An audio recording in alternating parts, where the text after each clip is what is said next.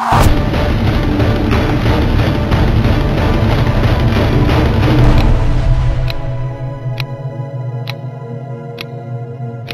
hər vaxtınız xeyirli olsun əziz tamaşaçılar. Sizinlə mən Elçin Rəhimzadə və verilişimizin bugünkü qonağı hüquqşünas Aslan İsmayılovdur. Aslan bəy, xoş gəlmisiniz. Təşəkkür edirəm. Aslan bəy, elə dünənləri mətbuatda sizin Əli Nağıyeva Dövlət Təhlükəsizlik Xidmətinin rəhbərinə müraciətiniz dərc olundu. Bu hansı zərurətdən irəli gəldi? Səbəb nə idi? Bilirsiniz ki, 3 ildir. 3 ildir prezidentin köməkçisi Əli Həsənovun başçılığı ilə haqqımda bir kampaniya aparılır. Bu üç il üzründə ərzində mənim haqqımda yüzlərlə, minlərlə ittihamlar səsləndirilibdir. Məhkəmələrə müraciət etmişəm. Yəni şərəf ləyaqətin qorunması ilə bağlı heç bir tədbir görülmür. Əksinə bu illər ərzində Mən Azərbaycanda yeganə 3 dəfə məhkum olunmuş hüquqşünasam. Yəni mənim haqqımda 3 ittiham edici hökm var. Bir hökm Hafiz Hacıyevi güya təhqir eləmişəm. İkinci hökm Mürvad adlı Dələduza Dəladuz demişəm. Hərçənd ki, bütün əməlləri Dəladuzluqdur. Üçüncü hökm ki, güya mən Binəqədi rayon məhkəməsində xuliqanlıq etmişəm, hakimi söymüşəm, qapını qırmışam və ilaxır. Onlarla başqa məhkəmə iclasları var. Amma artıq sonuncu dəfə e, Əli Həsənov artıq e, yəni son addım atıbdır və mən də əminəm ki, görünür vəziyyəti çox pisdir. Ona görə ki, o bu addım atmazdı. O məni və oğlumu vətənə xəyanətdə ittiham edib ki, biz erməni kəşfiyyatına işləyirik. Ağır ittihamdır. Bəli, ağır ittihamdır.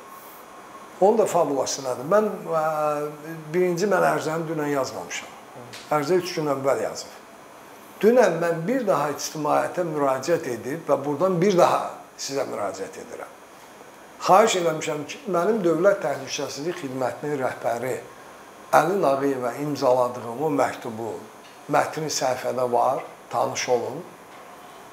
Və bunu diqqətdə saxlayın. Ona görə ki, Əli Həsənovun deyək trolu Talih Şahsuarlı adlı birisi o da müraciət edir. O sizin sizin barənizdə polisə müraciət edib eyni it, eyni ittihamla deyəsən. Yox, o polisə yox, o da DTX-ə müraciət. Ha, DTX-ə müraciət. Bəli. O məndən əvvəl müraciət edib. Ona görə ki, mən dəfələrlə müraciət eləmişdim. Heç bir yenə baxılmıyıb. Mənim onlarla bu mövzuda Məbəd Quliyev olanda Dövlət Təhlükəsizlik Xidmətinə müraciətim olub ki, mən nömrələri vermişəm ki, mənə zəng elib ölümlə təhdid edirlər. Facebook səhifəmin bağlanmasını tələb edirlər. Əli Həsənovdan əl çəkməyimi tələb edirlər. Bunu araşdırın. Araşdırılmayıb. Bu dəfə onlar müraciət edən kimi dərhal mən də müraciət elədim və həm də ictimaiyyətə müraciət elədim. Ona görə ki, mən əziz vətənlərim, hər birinizə müraciət edirəm.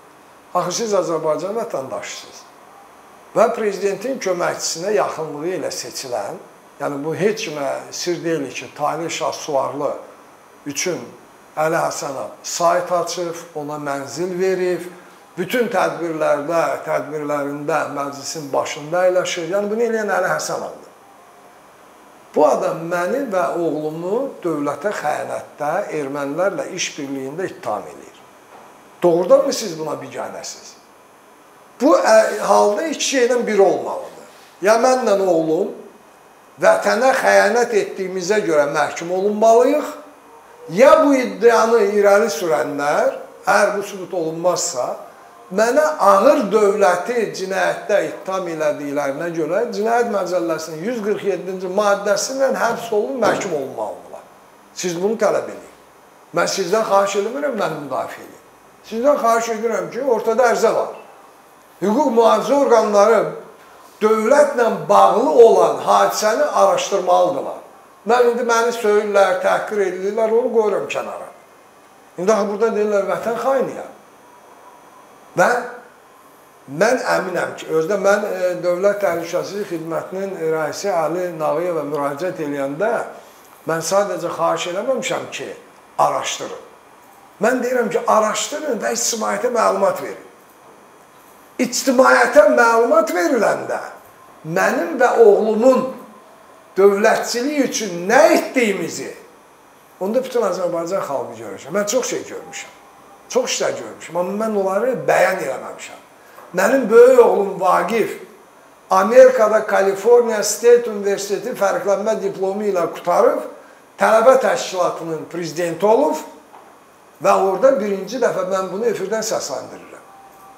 İlk dəfə Azərbaycan səfirinin edə bilmədiyini, Los Angeles'ta olan konsulluğun edə bilmədiyini mənim tələbə oğlum Kaliforniya State Universitetində Azərbaycan Günləri adlı 200-ə yaxın tələbənin, müəllim, professor heyətinin iştirakı ilə 3 saatdır tədbir keçirib və Azərbaycan iqtisadiyyatından, Azərbaycanın qərbə inteqrasiyasından, Azərbaycan müstəqilliyinə, suverenliyinə olan təhdidlərdən, Qarabağın işğalından danışırdı. Amma biz bunu danışmamışıq. Biz sakitcə işimizi görmüşük. Söhbət gedir mənim kiçik oğlum Ziyadan. Ziyadin gedirmi? Ziya deyirik. Bu yeganə Azərbaycanlıdır ki, Almaniyanın bir nömrəli universiteti sayılan Ludwig Maksimilianı əla qiymətlərlə bitirib Alman dilində.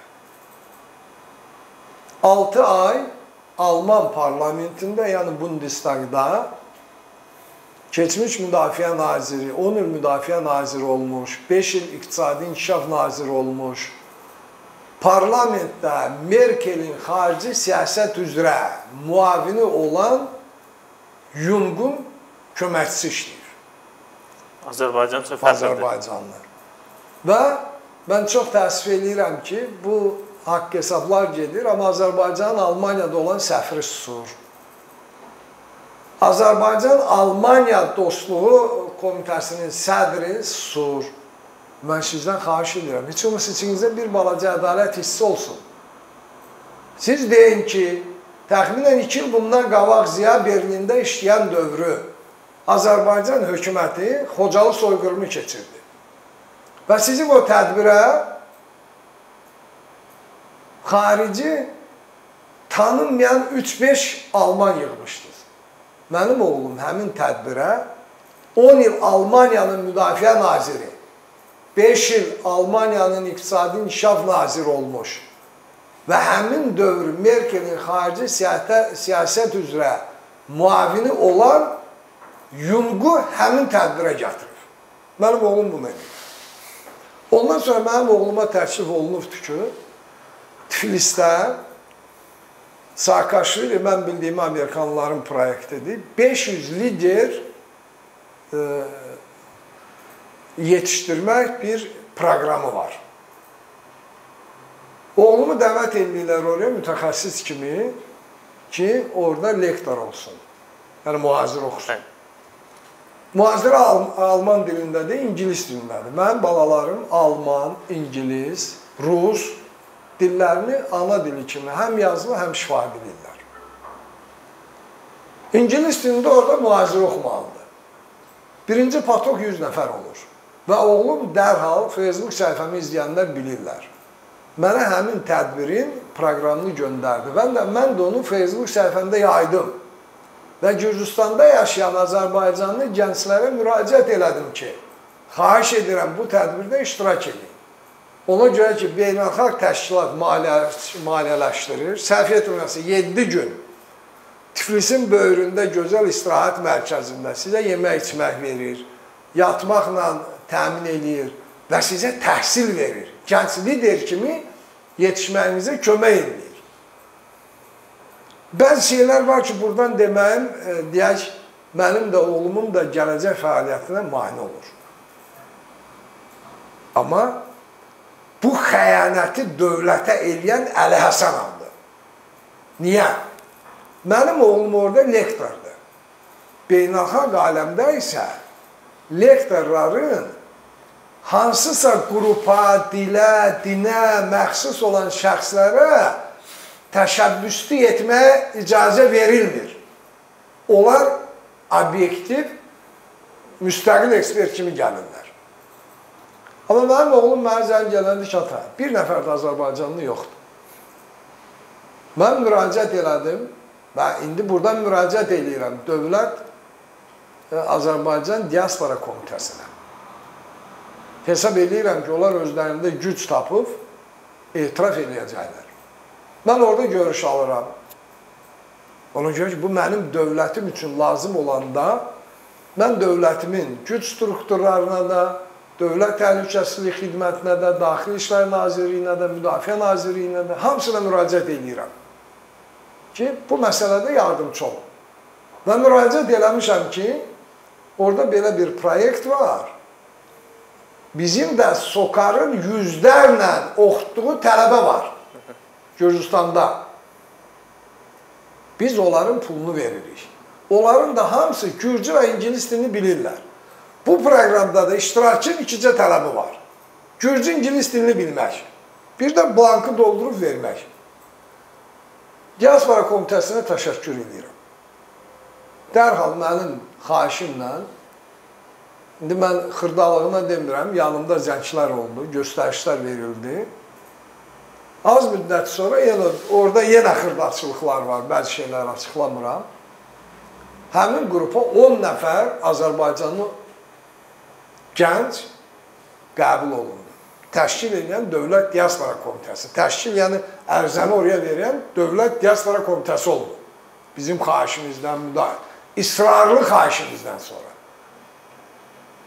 Həmin o 500 nəfərdən əziz həmvətənlərim 40 nəfər ən yaxşıları seçildi və Odessaya Mixail Saakashvilinin yanına görüş aparıldı. 500 nəfər, 10 nəfər Azərbaycanlı cəmi iştirak edir. Neçə nəfər ora düşməlidir? Ən çoxu bir nəfər düşər stratejiya götürəndə. 3 Azərbaycanlı getdi. Və Azərbaycanlı gənclər, mənim oğlum da orada olub. Amma mənim oğlum bunu heç yerdə reklam eləməyib, heç yerdə də görünmür. Amma həmin Azərbaycanlı gənclərin oraya getməsini, görüşləri, öndə olmalarına hamısına yardımcı olan mənim oğlum olur. O proqramın rəhbəri isə Amerikanlı xanımdır. Amerikanlı xanım. Hansı ki, proqram çərçivəsində həm Gürcüstan, həm Azərbaycan, həm də Ermənistanda fəaliyyət göstərir. Ən dəhşətlisi odur ki, bu xanım Ermənistanda cəmi bir dəfə olub. Cəmi bircə dəfə. Azərbaycanda çox olub. İndi ad çəkməkdə istəmirəm. 3 ya 4 ay burada bizim yüksək rütbəli məmurlara yəni məsləhətçisi olur. İndi bunlar bunu Əli Həsənov çalıyır ki, bu xanım Ermənistanda olub. Özdə orada bir saxta yazılar da yazırlar ki, güya bu Dağlıq Qarabağda olub, Bəli. Dağlıq Qarabağ. Yenə deyirəm, mən Dövlət Təhlükəsizlik Komitəsinə niyə müraciət eləmişəm? Hamısını öyrənin. Bunun hamısını sizə bunlar mənbəyini verməlidirlər də ingilis dilində. Sonra onun tərcümə variantına baxın. Mənbə bir tərcümə variantında əlavə diasporanın rəhbəri olub, güya erməni diasporasının elə bir şey yoxdur. Dağlıq Qarabağı etiraf edib, nə bilim Dağlıq Qarabağdan çıxış edib, elə bir çıxış ömründə olmayıbdı. Və bu hallardan sonra mən əminəm ki, o xanım artıq Azərbaycanla işləməyə çəkinəcək. Ona görə ki, İttihamlar var. Xarici vətəndaşların heç bir istəməz ki, onun adı hansısa qalmaqallarda olsun. Düz. İndi kimdir dövlət xaini? Kimdir dövlət xaini? Maraqlı Kəmil ona görə Mən israrla Dövlət Təhlükəsizlik Xidmətindən əlbəttə şərzə vermişəm, hər gün zəng eləyib maraqlanıram. Amma israrla siz Azərbaycan vətəndaşlarına müraciət edirəm. Axı söhbət Aslan İsmailovdan ya onun oğlundan getmir. Söhbət Azərbaycan dövlətinə xəyanətdən gedir. Xəyanətkar türmədə olmalıdır, həbsdə olmalıdır. Nəsillikcə həbsdə olmalıdır. İndi siz onu araşdırın. Maraqlıdır ki, Aslan bəy, o dediyiniz xanım burada o məmurun evində yaşayanda, onun işləri ilə, məsləhətləşmələri ilə məşğul olanda dövlətə xəyanət ittihamı yox idi. Amma məhz sizə gələndə, sizin oğlunuza gələndə bu İndi ittiham mən, səslənir. mən sizə başqa bir şey də deyim. Əziz vətənlərim, həmin dedim ha 40 nəfər seçilib aparılıb Mixail Saakashvilinin yanında. O 40 nəfərin 37-si Gürcü olub, 3 nəfər Azərbaycanlı olub. Bir nəfər erməni olmayıbdır. Mən xahiş edirəm Dövlət Təhlükəsizlik Xidməti, əks kəşfiyyat bunu da yoxlayın. Bunu çox sadədir yoxlamaq. Mən onun yolunu da deyərəm. Gürcüstan orqanlarından, hava limanından həmin dəstənin uçuşunu heç bunu məxfi eləmək lazım deyil. Məxfi agentur, şəbəkə qoşmağa zada ehtiyac yoxdur. Familiyalarla, yaxud da ki, Ukrayna hava limanından kimlər girir, kimlər çıxır. Rəsmi müraciət olunub.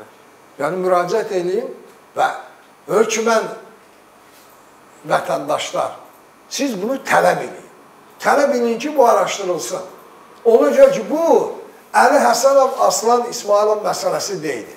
Bu, əgər araşdırılmamış qalsa, yəni kimsə də həbsdə olmasa, demək Dövlət Təhlükəsizlik Xidməti üçün Azərbaycan dövlətinin gələcəyi, mənafeyi heçdir. Onlar bununla məşğul olmayıb, başqa işlərlə məşğul olurlar. Asan bəy, e, ara sıra e, ünvanınıza bu tip ittihamlar səslənir. Onlardan biri də dünənləri Azər Freedom kanalında Qurban Məmmədovun sizin ünvanınıza səsləndirdiyi ittiham oldu. Bu barədə nə deyərsiniz? Mən e, gəlin belə danışaq. Mən o mövzunu e, həmin o ittiham bir saat ərzində mənə qarşı ittiham səslənibdi. Mən onu təxminən yarım saatdan sonra bilmişəm. Yəni mən o kanalı izləmirəm. Və o kanalda göstərilən nömrələrin hamısına zəng eləmişəm, götürməyiblər. Veriliş qutarandan sonra Qurban Məmmədov mənə yazıb, mən də ona yazmışam ki, mənə təxminən 15 dəqiqə qalıb səsləndirdiyiniz iddiamlar yoxdur. Mən hamısına cavab verməyə hazıram. Bir də əziz həmvətənlərim, mən başqaları kimi hərəkət eləməmişəm ömrümdə. Mən həyatımda necə olmuşam, bütün düzümlə, əyrimlə, səhvimlə o cür olmuşam. Və mən e, dəfələrlə müraciətlərim olubdur ki, əziz həmvətənlərim, siz ictimai siyasi həyatda olan heç kəsin dediyinə inanmayın. Özünüz araşdırma aparın. Ona görə ki, biz çox gözəl danışa-danışa Qarabağı bu günlərin bu vəziyyətdə olmağına bahis olan liderlər görmüşük. Azərbaycan xalqı milli qəhrəman etmək istəyənlər sonra milli xainlər, prorablar və əlaxır və əlaxır olublar. Ona görə biz gözəl danışmağa bacarıq. Siz heç kimə inanmayın. Aslan İsmailova da inanmayın. Araşdırın. Nöqsən nə varsa da hamısını deyin. Mən indi mənə qarşı orada səslənən ittihama cavab verəcəm. Ondan sonra hər hesab edirəm ki, ehtiyac olmayacaq. Ehtiyac olarsa da əlavə danışarıq.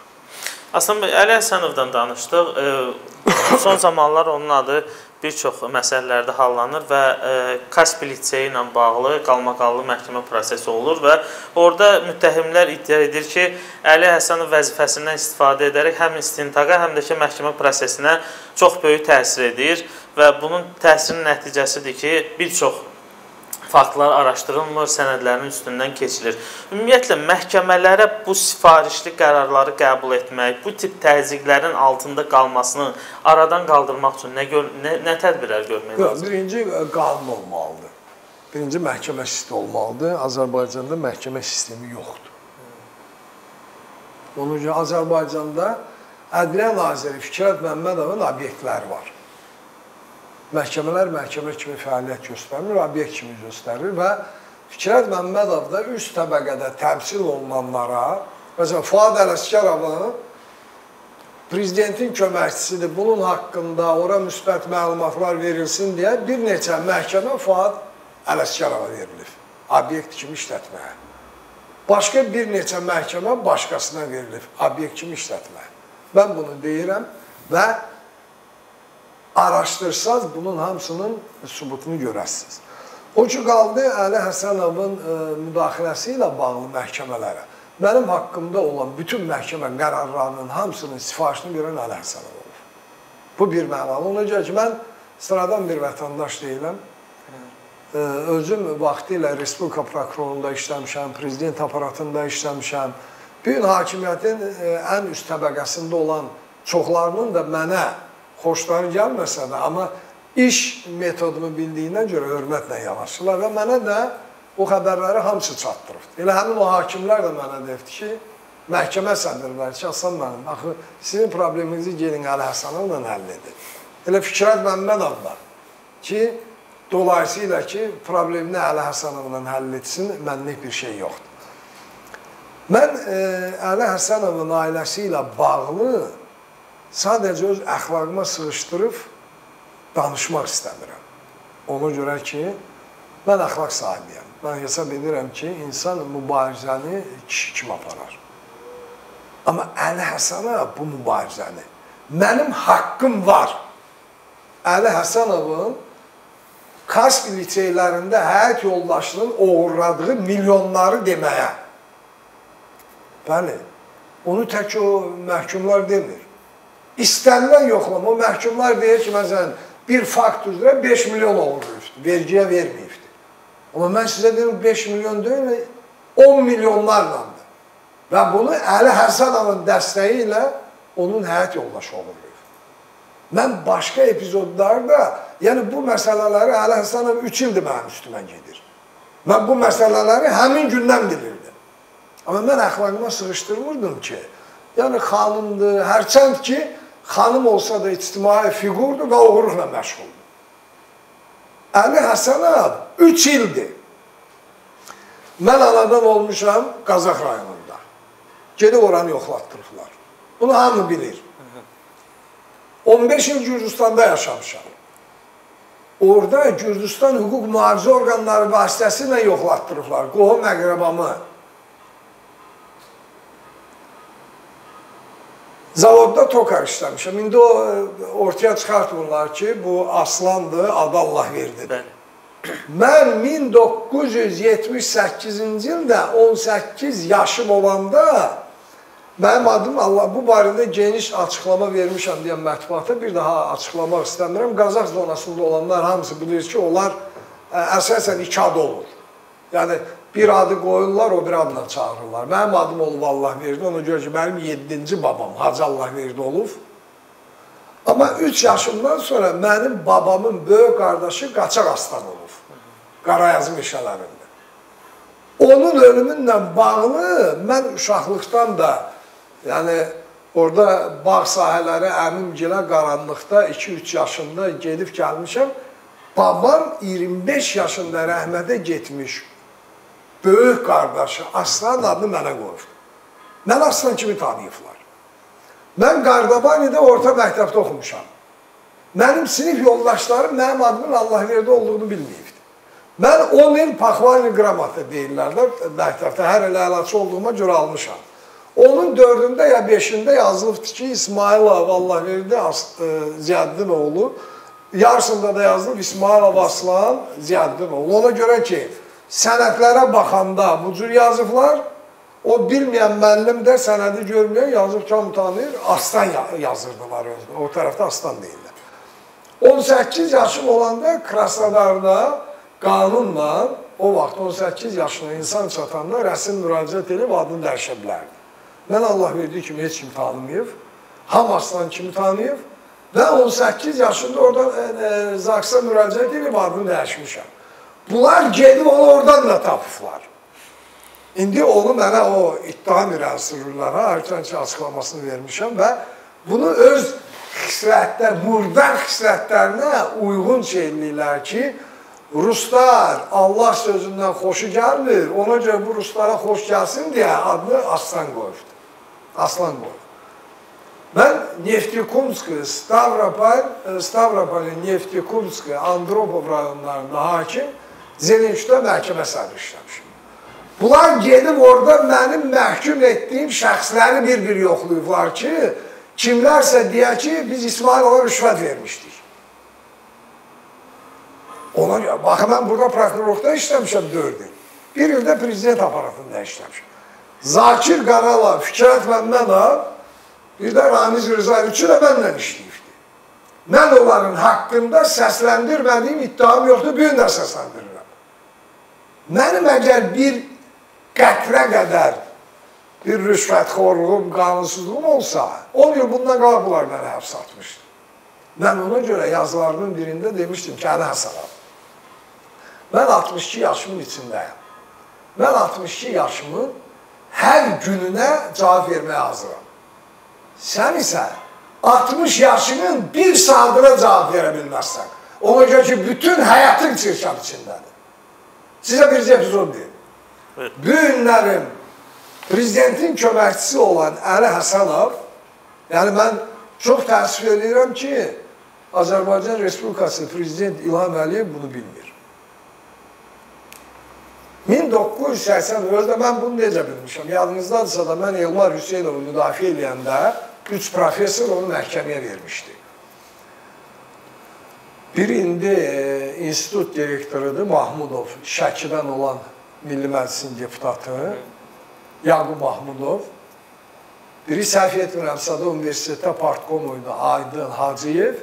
Biri isə Seydağı Onullahi var idi. Üç professor məhkəməyə vermişdi. Mən o proses dövrü Elmarı müdafiə eləmək üçün bunlar üçün də tarixçi idi. Mən bunların bütün e, yəni elmi işlərini, ona görə ki, Elmarı müdafiə eləmək vaxt çox çətin idi. O bir yazı yazmışdı, Azərbaycançı Natsi 21 veka. Və o yazı da bütün həm iqtidar, həm müxalifət mətbuatı Elmarın əleyhinə yönəltmişdi. Və Elmarı müdafiə eləmək çox çətin idi. Elmar vətənini sevən adam kimi həm türkçülüklə bağlı mənfi e, fikrini söyləmişdi, iradlarını, tənqidi fikirlərini, Heydər Əliyevlə bağlı tənqidi fikirlərini, həm musavatçılıqla bağlı tənqidi fikirlərini. Bu adamlar məhkəmə prosesinə gələndə mən baxdım ki, bunların yaşı 60-dan çoxdur. Maraqlananda dedilər tarixçidir. Mənim özümə uyğun bir balaca ağlım var. Mən başa düşdüm ki, bunlar tarixçidirlərsə da, bunların yəni elm, bunlar doktor naukdur. Demək, elmi iş izadı yazanda hökmən sosializmi tərifləməli, musavatçılığı, türkçülüyü söyməli idilər. Rəhmətli Elmar indi sağ qalan monitorun əməkdaşları varsa da onlar da bilir. Elmardan xahiş elədim ki, təcili get Axundov bibliotekasına. Bunların nə qədər məqalələri, nə qədər yazıları, kitabları var, hamısını tapın gətirin. Onda Bayramov idi. Qurban Bayramov, universitetin partkomu. Mənə Qurban Bayramovun kitabı e, bir şeyini gətirdilər, kitabını. E, Fəhlə sinfinin Azərbaycanda e, Рабочая diktaturu proletariata в городе Baku 18-20 года. Rus dilində yazının adı kitabın belədir.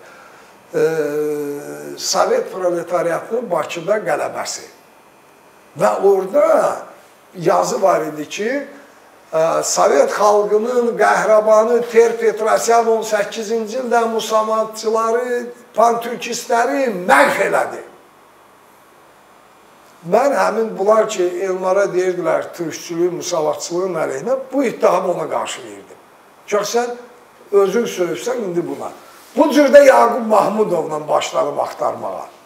Yaqub Mahmudovla bağlı axtarmağa baxanda, indi Allah rəhmət eləsin, o dövr Bakraboçi qəzetinin qlavni redaktoru var idi İbrahim Şükürov. Rəhmətli, mən də onu Stavropoldan tanıyırdım. Rəhmətli mənə Nərmanov metrosunun yanında 1989-cu ildə dərc olunmuş Bakinski Raboçinin bir nüsxəsini gətdi verdi.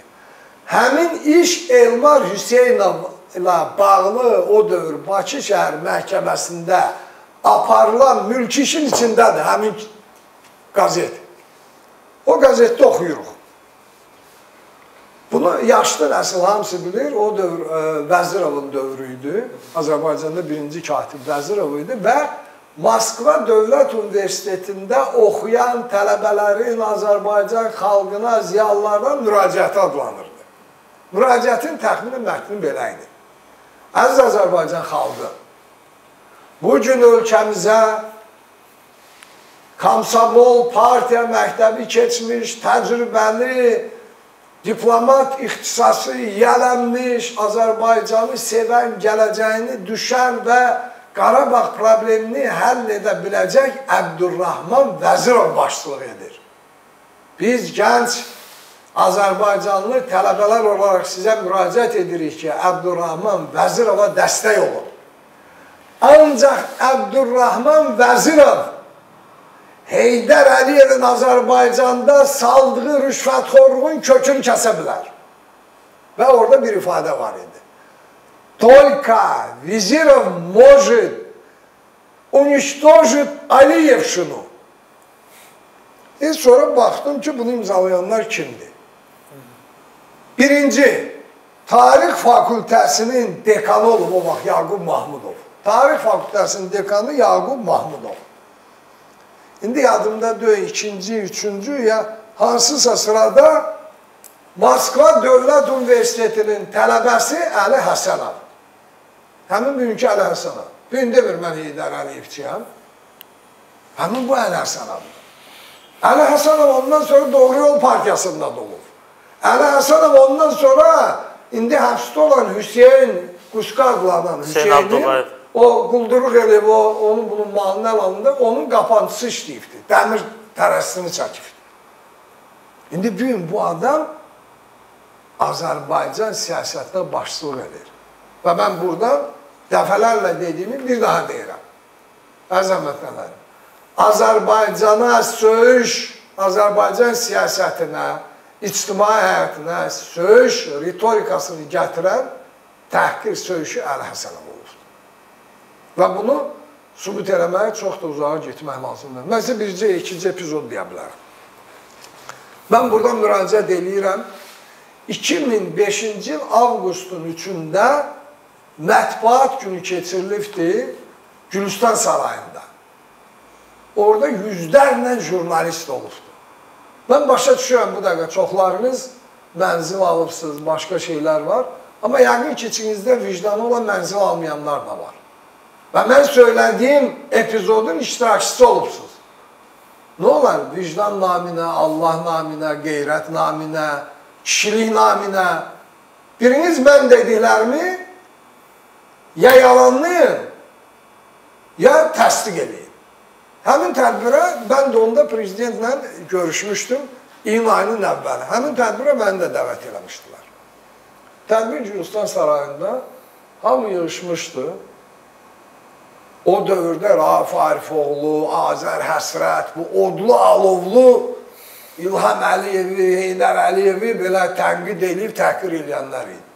Bir də İlham Əliyev gəldi, Ramiz Mehdiyev, İlham Əliyev, Əli Həsənov, Fuad Ələskarov, hamısı gəldi, tam mərkəzdə durdu. Həyat Regensi tanıyanlar, mən ona qədər, mən elə bilirdim ki, Həyat Regensin bircə girişi var. Yəni, əsas giriş tərəfdən gəldi, orada yığışdılar və yığışanda, indi mən də yaxınlaşdım o tərəfə və mən gördüyümdən dəhşətə gəldim. İlham Əliyevi, Heydər, Heydər Əliyevi söyən həmin o baş redaktorlar hamısı özünü İlham Əliyevin gözünə soxmaq istəyirdi. Cənab prezident, cənab prezident tam səmimi deyirəm, deyir o ürəyim bulandı. Mən həmin yerdən çəkildim, tam arxaya keçdim. Gülüstan sarayının tam əks tərəfinə. Yəni giriş qapısının bu biri tərəfə. Götdüm, üzr istəyirəm. Bir siqaret də yandırdım, belə seyr edirdim. Bunlar necə bir-birini qırır, prezidentə yaxınlaşmaq üçün. Hamısı da sürənlər. Görüş çox keçdi. Ola bilsin yarım saat, 40 dəqiqə deyə bilmərəm. Ondan sonra prezident elə bil ki, çıxışa doğru yox, əks tərəfə başladı gəlməyə. Mən onda hələ bilmirdim ki, burada desən demə bir xidməti çıxış var. Belə mən dönəndə gördüm ki, mən tərəfə gəlir, burada da məndən başqa demək olar adam yoxdur, hamısı orada topa yığışıbdır. Bu gəlib keçəndə məni gördü prezident. Məni görəndə istiqamətini dəyişdi mən tərəfə. Mən görəndə ki, mən tərəfə gəlir, mən də yaxınlaşdım prezidentə. Salam aslan, dedim, əleyhissalam, cənab prezident. Necəsiz, sağlığınız? Mənə bir sözünüz, yəni bu yalanı danışanın dərisini boğazından çıxarmarlar. Bu, hamının yanında olub. Ramiz Mehdiyev, Fuad Ələskarov, Əli Həssanov, indi bu tan, e, Əflatun Amaşov, Yəni o bütün o media kapitanları hamısı orada olubdu. Bir də ki, hakimiyyətin üst təbəqəsi var. Bunu dedim, mənə bir sözünüz dedim, cənab prezident, təşəkkür eləyirəm vəkillik haqqında qanun, qanuna düzəliş etdiyinizə görə. Mən də prezidentlə görüş olanda ondan bir xahişim olmuşdu. Vəkillik haqqında qanun dəyişirilsin. Prezident də mənə dedi ki, qanun layihəsini hazırla, Fuad Ələsgərova təqdim elə, mən tapşıracam. Çox ağırlıqla. Amma mən təqdim elədiyim qanun layihəsi təsdiq olundu. Bunu Fuad Ələsgərov da bilir və buna bir vasitə iştirak edən onda hüquq komissiyasının sədri indi də Əli Həsənov. İndi Əli Hüseynli gedir. Onlar da bilirlər. Və özdə Əli Hüseynli gözəl bilir ki, səs verməyə getməmişdən qabaq saat 11-də məni dəvət elədi. Ki, tapşırıq var ki, Aslan İsmailov görsün burada hansı dəyişikliyi var ya yox. Nəzarət Yəni bu qədər yalan olmaz əziz həmvətənlərim. Yalan danışıyorsunuz, mənə həbs eləsinlər. Əli Həsənov çağırdı ki, Əli, Əli Hüseynov, Hasan mənim, baxın, orada bir cümlə var idi ki, vəkilləri xaric etmək mənim yazdığımda konkret hallar var idi. Orada yazılmışdı və ilaxır və s. hallarda. Və mənim orada mübahisəm oldu ki, Əli müəllim, bu cür olsa mən mətbuat konfransı keçirib deyəcəm ki, mənə prezident söz verdi, amma söz verdiyini əməl eləmədi. Bu olub təxminən 11-də, 6-da Əli Həsənov, Əli Hüseynov mənə zəng eləyib, deyib Hasanov, təbrik edirəm, qanuna dəyişiklik olundu və qəbul olundu. Mən ona görə həmin orada prezidentə təşəkkür edirəm. Və prezidentin mənə cavabı oldu ki, mən sizə təşəkkür edirəm, ona görə ki, o sənin zəhmətin idi. Bunu deyib, dönəndə mənim yadıma kuklalar verilişi düşdü. Kuklalar verilişi. İndi buradan yenə danışıram. Kuklalar verilişi bağlı Ədalət Partiyasının sədri İlyas İsmayılovun yanından, onun iş otağından, telefonundan mən Əli Həsənova zəng eləmişəm. Və mövzu bu olub. Ona qədər bir dəfə də zəng eləmişdim ki, Əli müəllim, onda münasibət belə normal, normal idi deyəndə, mən zəng gələndə Əli Həsənov söyünürdü. Ona görə ki, bunlar hamısı elə bilirdi ki, mən İlham Əliyevlə ki, tək-tək görüşmüşəm, bizim xüsusi bir əlaqələrimiz var və mən onunla istədiyim vaxtı görüşə bilirəm. Mən zəng gələndə Əli Həsənov əminəm ki, kreslodan da qalxıb deyirdi ki, bəli Aslan müəllim. Zəng elədim, gəlmədim. Birinci dəfə.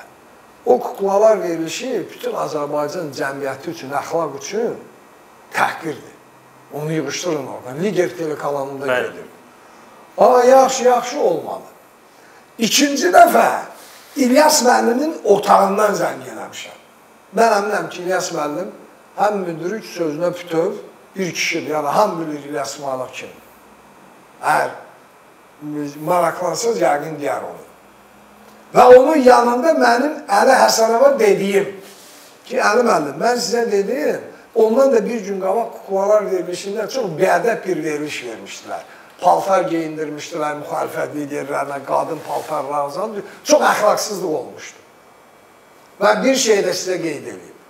Həmin məqamda da mənim müxalifət liderləri ilə münasibətim çox pis olubdur. Amma mənim üçün bu bir əxlaqa, mənəviyyata təhqir idi. Zəng elədi, mənim müəllim salam, əlik salam. Dedim, mənim müəllim, mən sizdən bir dəfə xahiş elədim, yenə sizə deyirəm. O veriliş təhqirdir. Dedim, Hasan müəllim, verilişdir da. Dedim, mənim müəllim, bəlkə sən, ailən ona çox məmnuniyyətlə baxırsın, amma mən istəmirəm ki, mənim ailəm elə əxlaqsızlığa baxsın. Ondan trubkanı yerə qoymuşam. Yəni, bizim münasibətimiz ondan kəsilir. Yenə qayıdıram həmin şeyə. Prezident ki, mənlə sağollaşıb geri dönəndə mən arxadan şey elədim ki, cənab prezident, döndü dedim sizdən bir xahişim var. Nə? Dedim, o kuklalar verilişində, Lider televiziyasında kuklalar verilişi var. O veriliş bütün Azərbaycan xalqına əxlaqsızlıq, mənəviyyətsizlik göstərməkdir. Dedi, nə verilişini? Dedim, Əli Həsənov bilir. Dedim, onu o cür vermək olmaz. Dedi, sən kimlə danışırsan bu barədə? Ha, bu barədə aparatdan kiməsə deyirsənmi? Dedim, Əli Həsənova özdə iki dəfə demişəm. Döndü, dedi, o problemi həll elə. Ondan bir gün sonra kuklalar verilişi dayandı. Və indi başqa bir şey də deyim. Ona görə ki, mən həyatımda səmimi olmuşam, ölənə qədər də belə olacam. Bilirəm, mənə çox problemlər yaradır. Yəni, mənim indiki məqamımda ya e, qənimət zahirdən problem yaratmağıma ehtiyac yoxdur, amma onu da deyim. Mənim həmin o görüş olmadı, həmin görüşün səhərsi günü mən istəyərəm ki, bizdə çox heyf ki, araşdırıcı jurnalistlər yoxdur ki, hamı yalan danışır, elə də çıxır gedir. Yalanı çıxardarlar, sonra soxarlar adamın gözünə ki, sən yalan danışdın. Bu görüşün səhərsi günü Azadlıq qəzetində Qənimət Zahidin bir yazısı oldu. İlham Əliyeva, əgər kuklalar verilişini siz yığışdırmasanız, biz sizin ailənizə keçəcəyik. Orada işitmişdilər axı ki, göstəriş verilirdi. Bundan bir gün sonra o veriliş yığışdırıldı. Və Qənimət Zahid ondan bir gün sonra başqa bir yazı yazdı. Aslan İsmailov bilirdi ki, o verilişin başında duran kimdi? İlham Əliyevdir. Ona görə ona müraciət elədi. Bax, mən belə oyunlar görmüşəm. Oldu, bilmirəm, indi başqa da sualınız. Doğrudan da maraqlı faktlar, tarixi faktlar səsləndirirsiniz. Adam Amma mən xahiş edirəm, əziz vətənlərim. Mən indi bəzən qulaq asıram insanların çıxışına və bəzən tanıdıqlarım olur. Elə qəşəng, elə yağlı danışır, amma baxıram ki, yalan danışır. Onun üçün mən o həyatı həmin dövr yaşamışam. Yaşamış. Gözünün içine kadar yalan danışır. Ve bir yerde de görmürəm ki, çıxıb konkret təsvir eləyərək ki, sən burada niyə yalan dedin? İndi mən dediyim faktlardır. Jurnalist olaraq araşdırın. Yəni bu qədər yalanı prezidentin adını hallandırmaqla, Ramiz Mehdiyevin adını hallandırmaqla danışmaq olar mı? Aslan bəy, elə müxalifətdən danışmışkən, Ben, e, bu belə bu yöndə ki, yadıma düşmüşkən, mən bir şey deyim. Bu günlərdə biz e, o e, hesab edirəm ki, e, Azərbaycan cəmiyyəti üçün çox ağrılı bir proses yaşadıq. Fuad Qəhrəmanlı ailəsi bu bir ailə problemi olmadı mənim üçün. Bu millətin bir faciəsi oldu. Mən o mövzuya əsla yazı yazdım, mən içinə girib bircə ki, o mövzuda bircə şey deyə bilərəm. Heç kimin haqqı yoxdur kiməsə də fiziki təsir göstərən. Ailədə anlaşılmazlıq varsa da bunun bircə yolu var. Normal qaydada boşanmaq. Ümumiyyətlə qadına əl qaldırmaq isə mən hesab eləyirəm ki, böyük mənada insanın ancaq iki varlığa borcu var. Böyük mənada. Bir Allahına, bir anasına. Qalanları sonra gəlir. Ata da varlıqdır. Amma atı ilə ananı eyni səviyyə qoymaq olmaz. Ananın əziyyətini heç bir ata heç vaxt çəkə bilməz. Ona görə hər bir xanım anadır. Əl qaldırmaq əsl olmaz. Amma burada kimin günahkar, kimin haqlı, kimin haqsız mən yazımda da yazdım ki, mən əvvəlcə istəyirdim bir yazı yazam. Mən hər tərəfin yəni lehinə, əleyhinə olduqlarını qoyduqca başa düşdüm ki, bu bir kitabdan çox olacaq. Bu iki sivilizasiyanın toqquşmasıdır. Əgər bunu elə Hasan həll etmək olarsa da, dünya sivilizasiyaları bir-birindən müharibədədir. Dünya alimləri bunu elə çözərdi də. Amma həmin müzakirələr göstərdi ki, Azərbaycan cəmiyyəti hansı xəstə durumdadır. Çox biabırçı durumdayıq. Ona görə biz hamımız millət olaraq saflaşmalıyıq. Saflaşmağın yolu səmimilik olmalıdır, düzlük olmalıdır. Və həyatda gənclərə dediyim bir məsləhətim var. Öz balalarıma hər gün dediyim. Əgər istəyirsiniz ki, həyatda uğurlu olasınız, uğurlu, xoşbəxt, düz olun.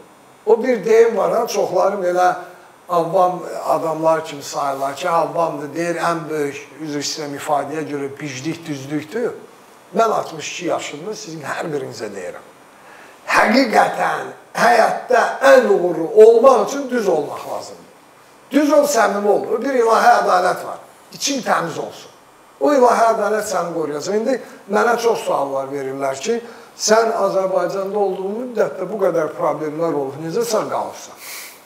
Bilməyənlər üçün mən deyim ki, mənim burada olduğum problemlər, mənim Tokar işlədiyim dövrdə, tələbə olduğum dövrdə, hakim məhkəmə sədri olduğum dövrdə yaşadığım problemlərin yanında heç nədir. Amma mən sağ qalmışam. Niyə? Ona görə ki, o ilahi ədalət deyilən bir şey var. Düz ol, heç nədən qorxma. O ilahi ədalət öz səni qoruyacaq. Həmin o e, müzakirələrdə Fuad Qəhrəmanlının ailəsi ilə bağlı nələr biz görmədik? fürsətçilik.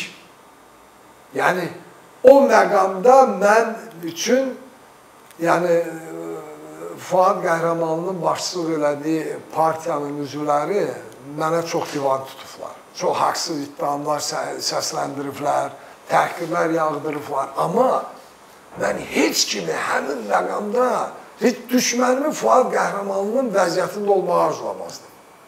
Bəziləri güya Fuadı müdafiə edirlər. Fuadın qızı haqqında edirlər, bəli. nə cür təhqirlər yağdırırlar. Yəni bir insanlar fikirləşmədimi? Və ikinci, güya kömək eləmək istəyirlər. Əksinə bu ailə bağlarını daha da qırır, daha da dağıdırlar. Və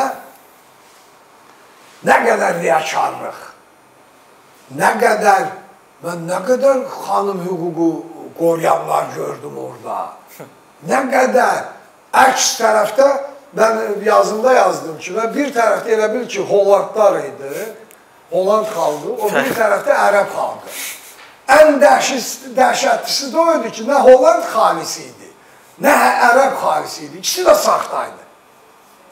Biri az qalırdı deyər ki, arvad demir döyülməlidir. Düz eləyir.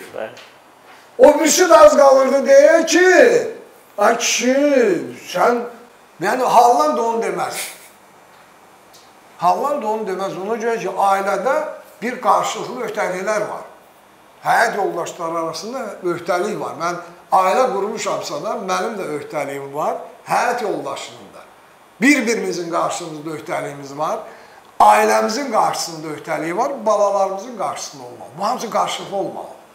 Amma orada əks qütblər göründü və mən onu indi siz təsəvvür edin, bu bir ailədə olan problemə. Mən nə üçün deyirəm ki, əgər Azərbaycanda hər hansı bir ixtişaş, demirlər o Suriya hadisələri, mən sizə əmin edirəm ki, həmin hadisələr Azərbaycanda Suriyada milyon dəfə pis olar. Cəmiyyət o qədər Gərgin. Bir-birinə qarşı gərgin, aqressiv, içdə o qədər nifrət yığışır. Sanki insanlar bunu töhməyə bir yer axtarırlar. Və biz hamımız bilməliyik ki, bu günlərin bizim hamımız üçün ən böyük təhlükə o cəmiyyətdə yığılmış bu enerjidir. Dözümsüzlük, nifrət, yalan, fürsətçilik, qorxaqlıq, ikiyüzlülük bundan hamımız xilas olmalıyıq. Biz millət olmamışdan qabaq əvvəlcə insan olmağı öyrənməliyik. Biz hər birimiz fərq olaraq insan olmalıyıq. Ki, insan yalan danışmamalıdır, insan səmimi olmalıdır, dürüst olmalıdır. Mən belə danışanda e, şey, izləyicilər hesab eləməsin ki, mən özümü Peyğəmbər hesab edirəm, məsələn. Mənim o qədər qəbahətim var ki. Amma mən çalışıram, mənim qəbahətim başqalarına ziyan vurmasın. Əsla. O qədər nöqsanım var. Mən evdə deyək, oğlanlarımla danışanda ya qızımla danışanda, papa, papa bunu düz eləmirsən, deyirəm, bala, bilirəm, bu da mənim şeyimdir, nöqsansız yoxdur ki, insan dünyada. Amma nöqsan ayrı, yalan, saxtalıq, qeyri-səmmilik, fürsətçilik, namərdlik, naqislik, bunlar ayrı şeydir. Yəni nöqsan bütün cəmiyyətlərdə, bütün insanlarda nöqsanlar var. Amma o sadaladığım halları biz aradan qaldırmalıyıq. Bir də nəsə yenə e, sadaladıqlarınız e, məni Eldar Sabiroğlu ilə Rüfət Səfərovun məsələsini xatırlatdı. Həmin məqamda da oğula görə atanı linç edirdilər, necə ki indi Fuad Qəhrəmanlıya görə qızını linç edirlər. E, son sualım belə olacaq. Bunun hamısı üzr istəyirəm. Buyurun. Bunun hamısının mənim axı Əli Həsənovdan alacağım yox, verəcəyim yox. Tam səmimi sizə deyirəm. Özdə Əli Həsənov mənim peşəmlə bağlı mənim üçün heç kim olub. Yəni mənim peşəm vəkiləm, mənim peşəm üçün, yəni e, belə insidentim, e, nə bilim, münaqişəm yarana bilər. E, Baş prokurorla, Ədliyyə nazirindən, Daxili İşlər nazirindən, Milli Təhlükəsizlik nazirindən, uzaqbaşı Fuad Ələsgərovdan. Elədir? Mənim peşəmin buna heç bir aidiyyəti yoxdur. Amma mən biraz ağıllı olan adam kimi bir daha deyirəm. Əli Həsənovun bu Azərbaycan xalqına vurduğu ziyanı vaxt gələcək. Əli Həsənovun adı Şamyanların Əlheydər Qarayevlərin sırasında olacaq. Gec olacaq. Əli Həsənovun bu 20-25 ildə bu əxlaqa, mənəviyyətə, milli kimliyimizə vurduğu ziyanı bir nəsil keçməlidir ki, keçər. Bütün bunlar yoxdur. Danışdıqlarım ha, riyakarlıq, ikiyüzlük, əxlaqsızlıq hamısı Əli Həsənovun telekanallarına get bax, hamısını orada görəsən. Və əhali gördüyü də nədir? Əhali oraya baxır. Cavan nəsil, cavan qız uşağı baxır televizora. Baxır ki, ha, İndi adlarını çəkmirəm, ona görə ki, bilirəm adını çəkdim. Əli Həsənov dərhal deyəcək ki, gelin Aslan İsmailov verin məhkəməyə. Müğənnilərdən biri baxır ki, bu lüt danışığını bilmir, söyüş söyür. O biri verilişdə həmin bu 500 minlik maşın, bahalı restoranlar, buna xalq artisti, əməkdək artistlar 16-17 yaşında, deyək 13-14 yaşında hələ e, xarakteri formalaşmamış qız kim oxşamaq istəyəcəkdir? Onu oxşamaq istəyəcək. O bir tərəfdən cavan oğlan baxır, veriliş aparır.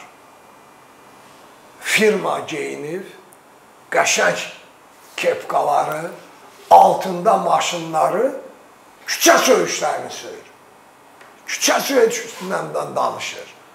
Efirdə mən dönə-dönə sizə üzr istəyirəm. Özü kimi başqa bir o müğənni götürür qucağına, bunu qucaqlayır, öpür, əlini orasına atır, burasına atır.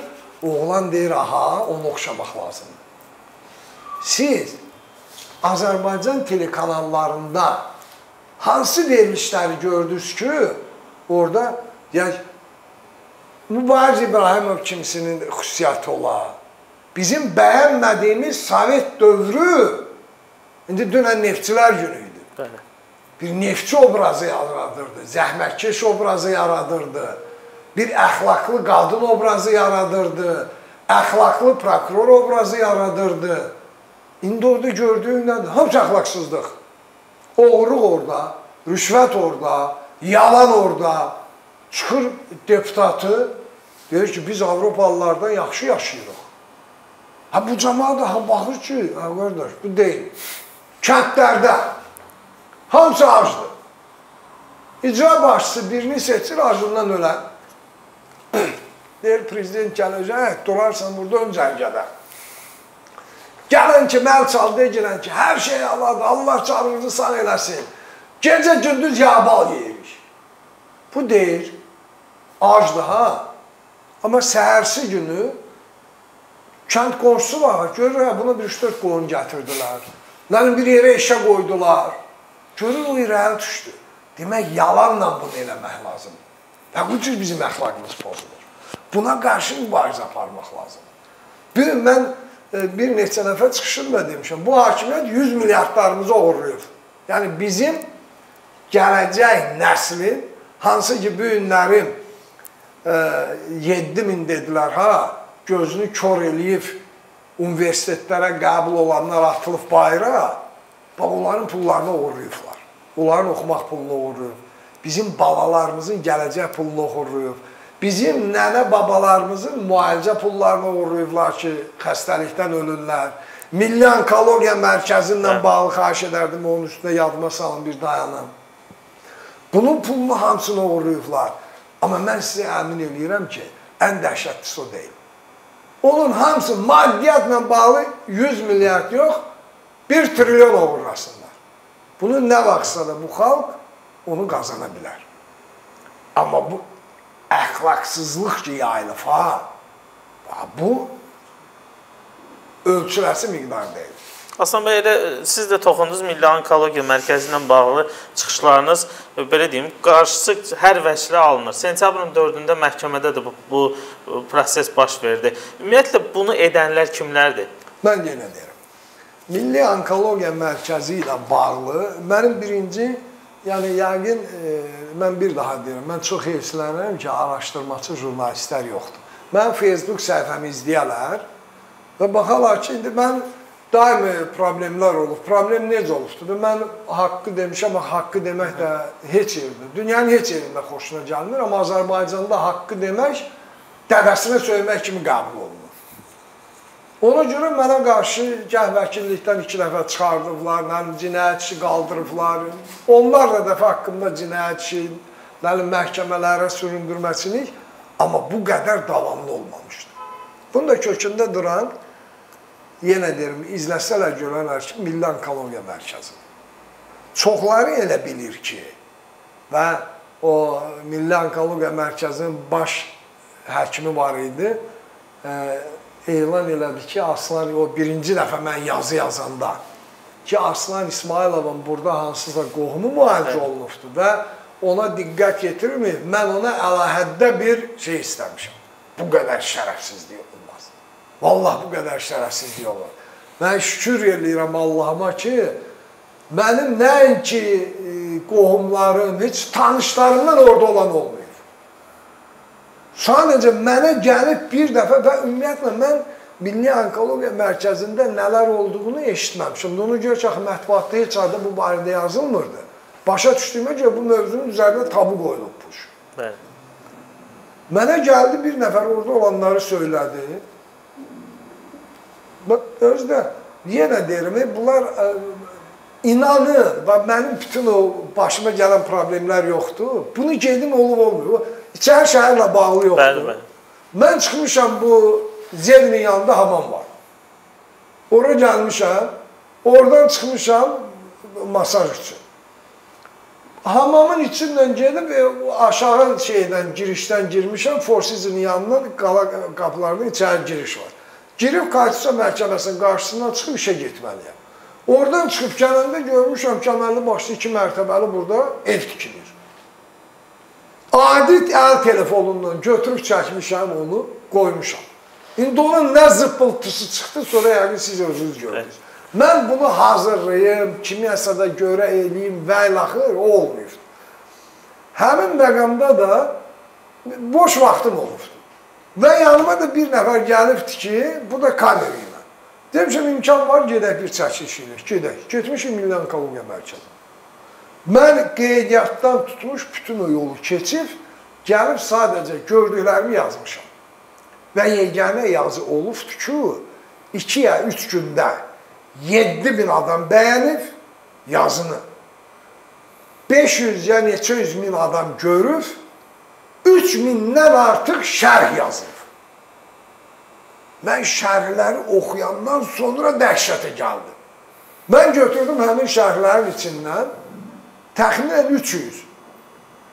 Hansındakı konkret göstərilir. Faktlar. Ki, mən Saatlı rayonun deyək Azadabad kəndindən Əliyev Əli Pirvəlioğlu anam Mənsura xanımı gətirib burada müalicə eləmək üçün əməliyyat deyiblər.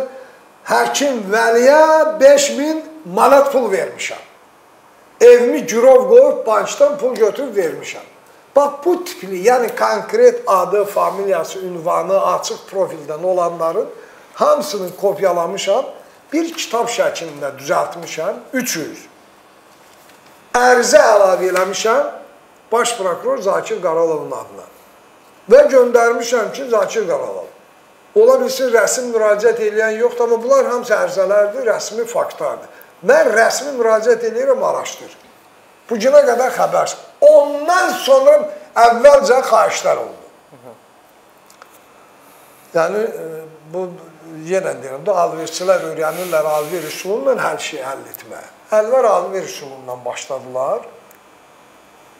Yəni mümkün deyil və bunun indi mən deyim bilsinlər, gələcək üçün də bilsinlər.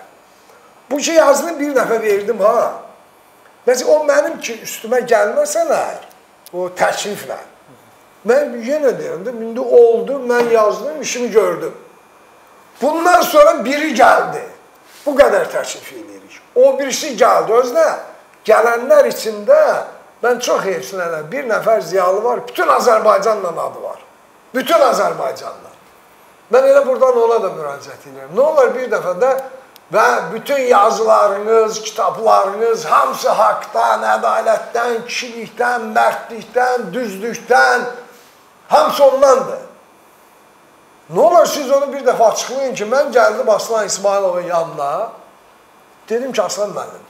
Mən başa düşürəm, sənin də problemlərin var. Valla burada elə təklif olunur ki, sən bütün problemlərini həyat boyu həll edərsən. Plan kəsləri qəbul elə. Nə ilə bağlı? Millan Kolumbiya. Ona dedim ki, bax biz bəzən yeyib içirik də.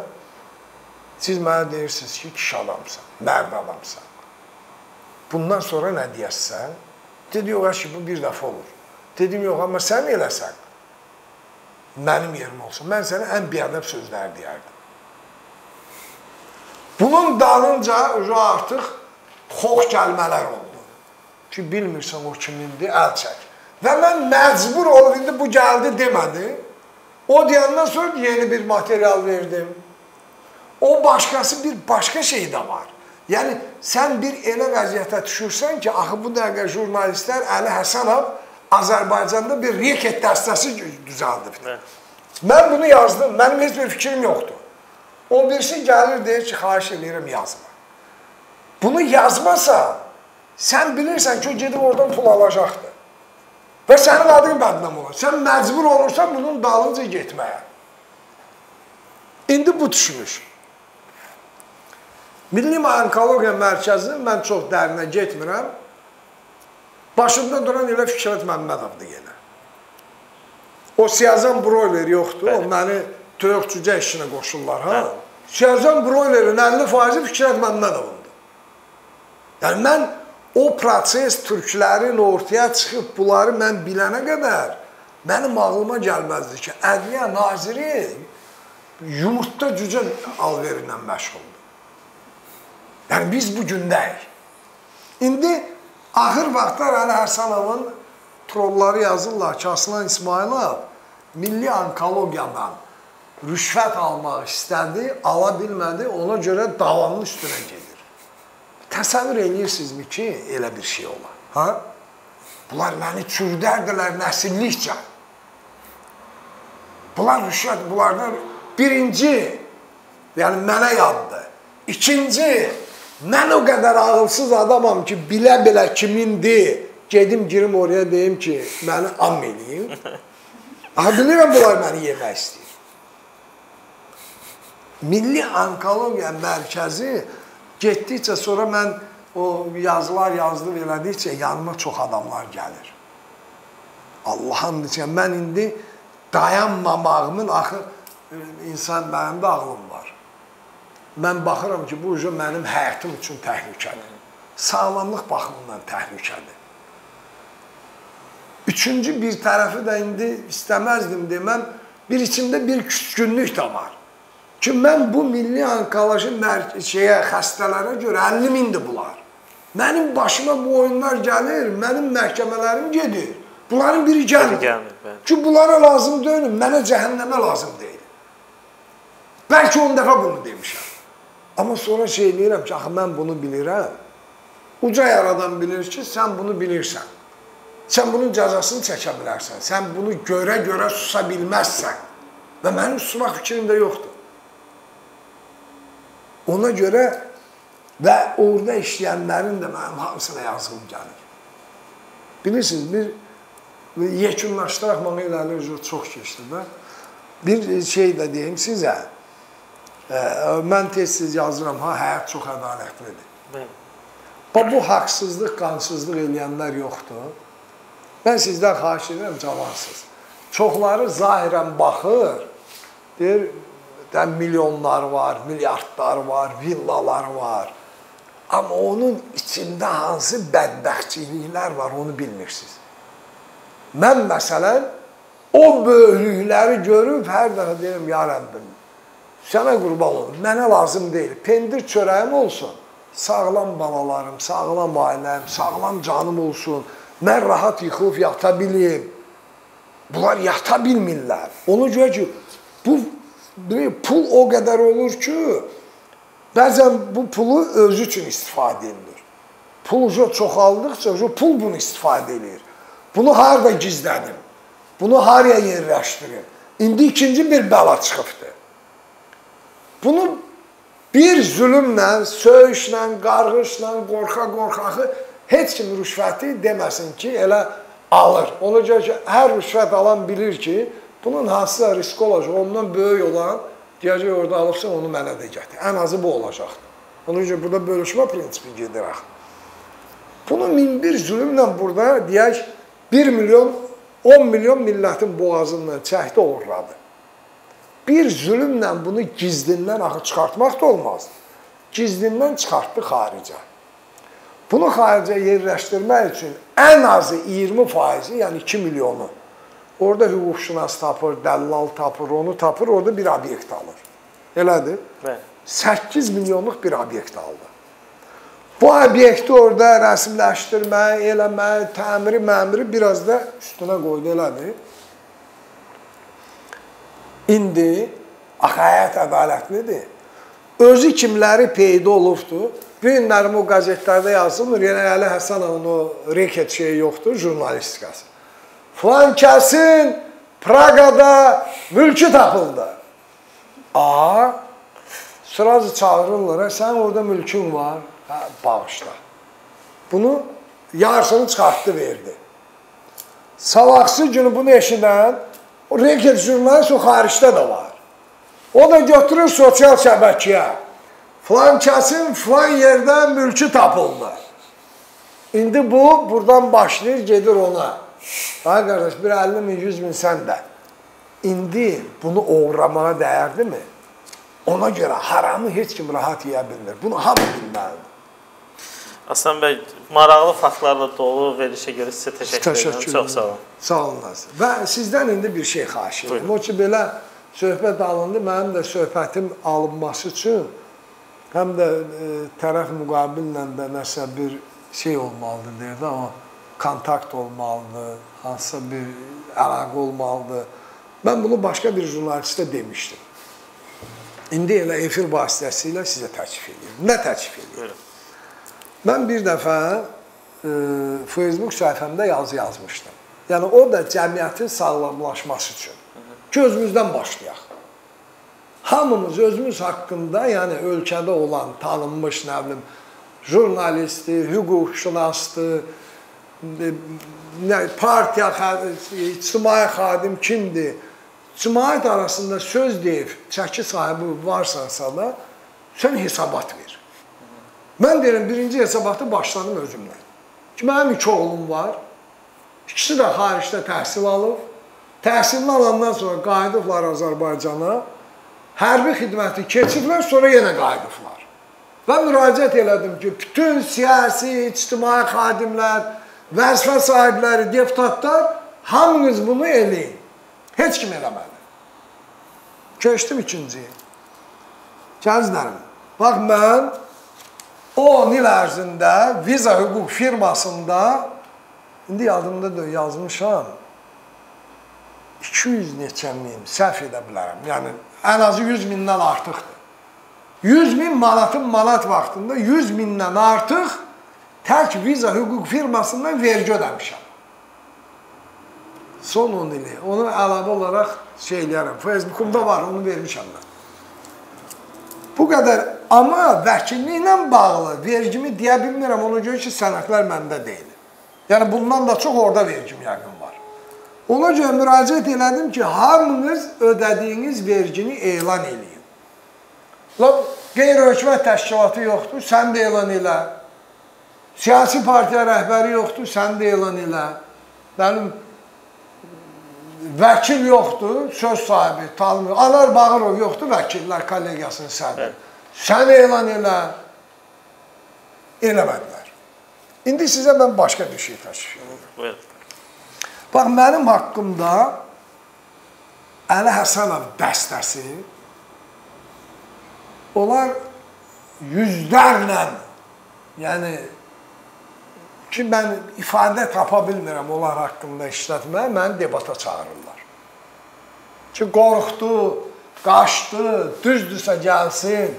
Mən buradan onların hamısını elan edirəm. Mən sizlərin heç birindən üz oturmayacam. Amma mən o debatı təklif eləmişəm. Sizin patronlara, sizi qısqırdanlara, Əli Həsənova, Fikrət Məmmədova, yaşıdıyıq, statusum onların statusuna, mən məhkəmə sədri işləyəndə onlar tərəzi çəkiblər. Özüm eləmişəm, öz savadıma, öz hesabıma. Mən onlarla debata istədikləri kanalda hazıram. Yanlarıyla da 10 nəfər köməkçi, sovetnik yanlarından çıxmasın deyə gətirsinlər. Mən orada verdiyi bütün suallara cavab verəcəm. Özü də onların 10 sualına mən bir dənə sual onlara.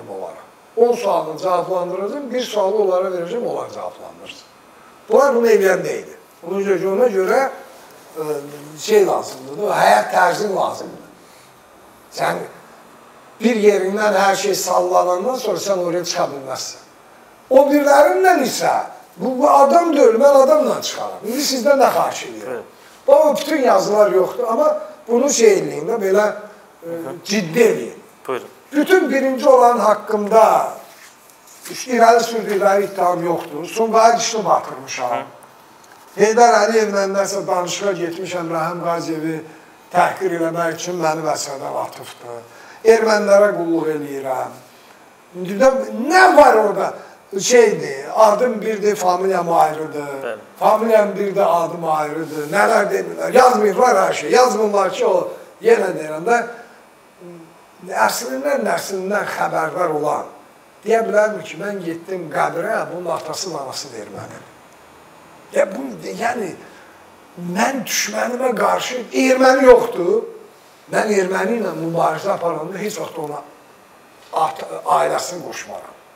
Rəhmətə getmişlərini dilimə gətirmərəm. Yəni bu, bu əxlaqsız, o başqa bir şey. Yəni onu hələ ifadə olması bir ifadə deyil mənim üçün. Bütün nə iddiamlar var, hamısını siyasını tutun özünüzə və sizdən də bir xahişim var. Bilirəm, jurnalist elə eləyə bilməz, amma mən sizdən xahiş edirəm. Siz iddiamçı kimi məndən davranın. Bütün o suallar yoxdur. Hamısını verin. Yazmırlar ki, ha, Aslan İsmailov filan kəs vaxtı filan kəsə qulluq eləyib, filan kəs vaxtı filan kəsə qulluq eləyib, 50 partiya dəyişib, mənim benim ağla gəlməyən nə iddiamlar Ermənilərlə işbirliyinə gedir. Hamısını həm onların iddialarını, həm də əlavə özlərinə Facebook səhifələrində yazın ki, yəni bunlar da işləyəcəklər. Mən bütün iddialara cavab verməyə hazıram. Amma sizlə. Çox gözəl. Siz də onu hazırlayın. Bir saat çəkər, iki saat çəkər. Mümkün olar canlı eləyərsiniz. Əla. O iddialarla. Amma mən onlarla üz-üzə gəlim. Onlar o həyasızlıq eləsinlər. Axı mən onu eləyə bilmərəm. Onlar söyüş söyləyəcək, mən söyüş söyə bilmərəm. Onlar gözümün içində yalan danışacaqdı. Mən mən elə adamlarla həqiqətən danışa bilmirəm. Yəni o söyüş bircə nəfər söyüş söylü, mən beynim dönəcək, mən ücretinə cavab verə bilməyəcəm. Əxlaqlı adam olar, mən üstündə belə o cür mən sizdən həmin şeyə hazıram. Çox gözəl təklifdir. Mən başqa jurnalistə söz vermişdim. Onunla buradan elan eləyirəm ki, o mənim haqqımda bir e, xoşa gəlməz ifadə işlətdi bir şərhdə. İndi mənə izah elədi ki, güya nə üçün sana e, mən özümə qarşı heç kimdən hörmətsizliyi qoyum. Heç kimə, nə ölkə prezidentinə, nə öz balama, mən öz şəxsiyyətimə hörmət adamım. Ona görə ki, mən kiməsə də qarşı ömrümdə hörmətsizlik eləməmişəm, nə də olun. Çox təşəkkür edirəm Aslan bəy. Çox gözəl ideya idi və bunu söz verirəm ki, həyata keçirəcəm. Tək məndən yox. Bunu yenə məndən Davamlı başlayın. olaraq. Ondan sonra başqalarını. Ki sənin haqqında mən 100 dənə sual yığmışam. İndi gəl o suallara cavab ver. Əla ideya. Çox sağ olun. yəni bütün və üzdə kim var, hamısı bundan keçməlidir. Biz bu cür təmizlənməliyik. Siz bunu eləyib, bunu bir oturda bilsəz, o zibil içində bataqlıqda olanlar artıq səhnədən də çəkiləcəklər. Amma görürlər ki, zibilin içində o olan çıxır at oynadır. O deyir, oğlum məndən betərdir, mən də çıxıram. Onun üçün jurnalist olaraq bunu tələb edir. Təşəkkür edirəm Aslan bəy. Bugünlük bu qədər əziz tamaşaçılar. Xatırladım ki, verilişimizin bugünkü qonağı hüquqşünas Aslan İsmailov idi. Sağ olun, salamat qalın.